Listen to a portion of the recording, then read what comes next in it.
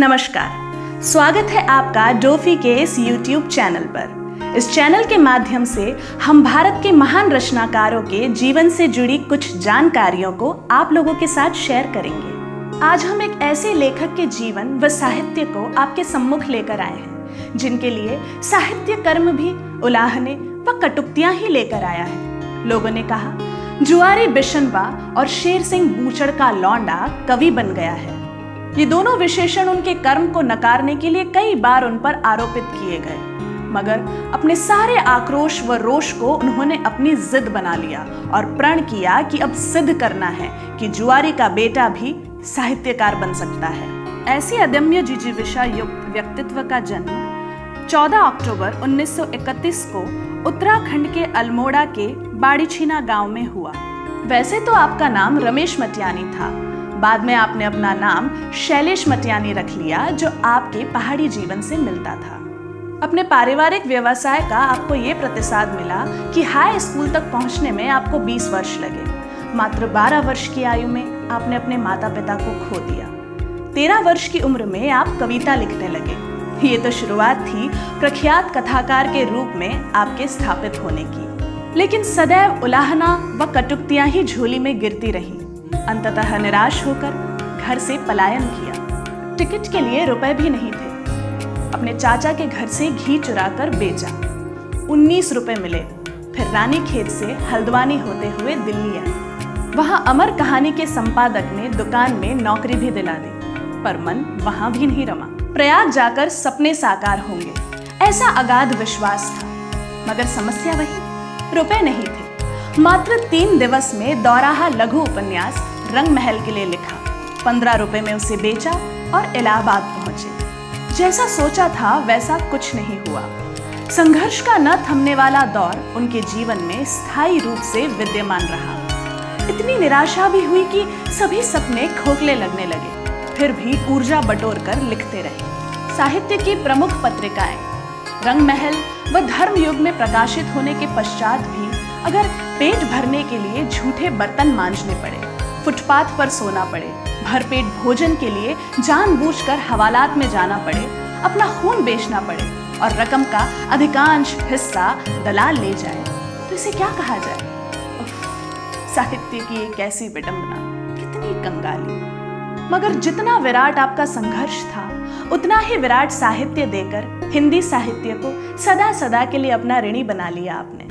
तीस उपन्यास, लगभग इतने ही कथा संग्रह, दो संस्मरण, तेरह निबंधों की पुस्तकें, तीन लोक कथा संग्रह।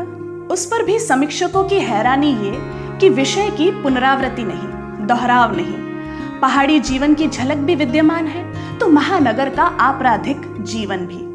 इतना ही नहीं, साहित्य के प्रति इतनी आस्था कि दो पत्रिकाओं, विकल्प और जनपक्ष का संपादन भी किया। बम्बई में अपराध की दुनिया को बहुत करीब से देखे जाने का अनुभव, उनके उपन्यास बोरीवली से बोरी बंदर का हिस्सा बना।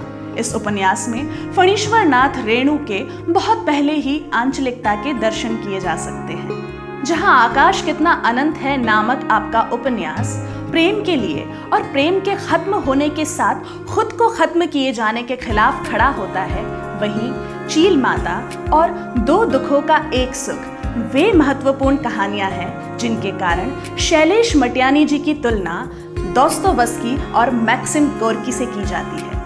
स्त्रियों के लिए गहरी संवेदना आपके जीवन व लेखन में सदैव मौजूद रही। आप अकेले ऐसे लेखक हैं, जो पत्नी प्रेम को अपनी कहानी का केंद्र बिंदु बनाकर अर्धांगिनी जैसी कहानी रचते हैं। बाबा नागार्जुन ने जहाँ आपको हिंदी साहित्य का गोरकी कहा, वहीं राजेंद्र यादव ने आपको सबसे ज़्यादा प्रतिभाशाली व्यक्ति कहा। वे कहते हैं कि उनके पास सबसे अधिक संख्या में, मसलन 10-12 ए वन कहानियाँ हैं, जो अंतर्राष्ट्रीय स्तर पर रखी जा सकती हैं। हम लोग कहीं ना कहीं बुकिश हो जाते हैं। वे ज़िंदगी से उठाई गई कहानियाँ लिखते थे। वे रेणु से बहुत पहले ही आंचलिक उपन्यास व कहानी लिख चुके थे।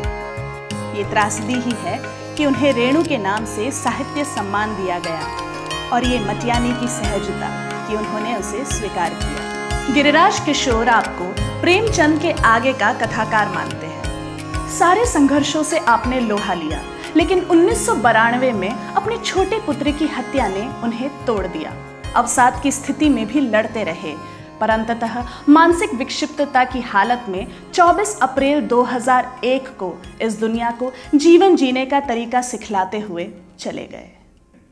उनके हिंदी साहित्य के प्रति प्रेरणादायक समर्पण व उत्कृष्ट रचनाओं के फलस्वरूप आज भी उत्तराखंड सरकार द्वारा उत्तराखंड राज्य में पुरस्कार का वितरण होता है। शैलेश मटियानी का रचना संसार, कहानी संग्रह।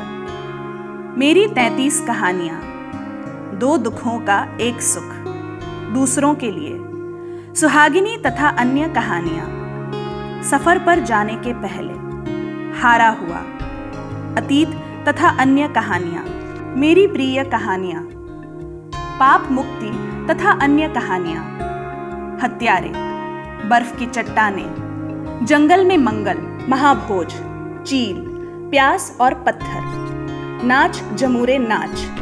माता तथा अन्य कहानियाँ, भविष्य तथा अन्य कहानियाँ, अहिंसा तथा अन्य कहानियाँ, भेड़े और गडरिए शैलेश मटियानी की इक्यावन कहानियाँ, शैलेश मटियानी के द्वारा लिखे गए उपन्यास।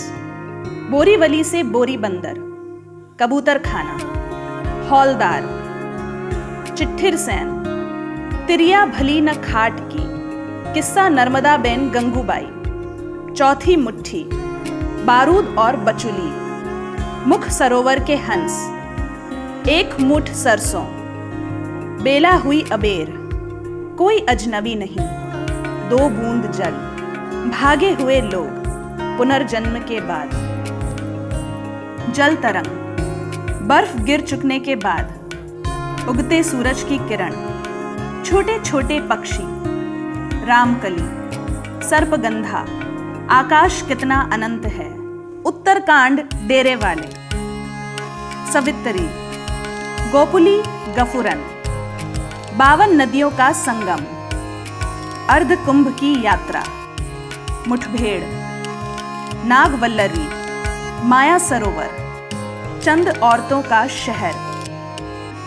निबंध और संस्मरण। मुख्य धारा का सवाल। कागज़ की नाव। राष्ट्रभाषा का सवाल। यदा कदा, लेखक की हैसियत से। किसके राम, कैसे राम? जनता और साहित्य। यथा प्रसंग। कभी कभार। राष्ट्रीयता की चुनौतियाँ। किसे पता है राष्ट्रीय शर्म का मतलब? उन्नीस में कुमाऊं विश्वविद्यालय ने डीलिट की मानद उपाधि से सम्मानित किया। उन्नीस सौ चौरासी में मुठभेड़ उपन्यास के लिए फणीश्वर नाथ रेणु पुरस्कार प्रदान किया गया। उत्तर प्रदेश सरकार का संस्थागत सम्मान, शारदा सम्मान, देवरिया केडिया सम्मान, साधना सम्मान, लोहिया सम्मान। आशा करते हैं कि साहित्यकारों के जीवन से संबंधी ये छोटा सा प्रयास आप सभी को पसंद आ रहा होगा। उम्मीद करते हैं कि डोफी के इस YouTube चैनल पर आप सभी का साथ यूँ ही बना रहेगा।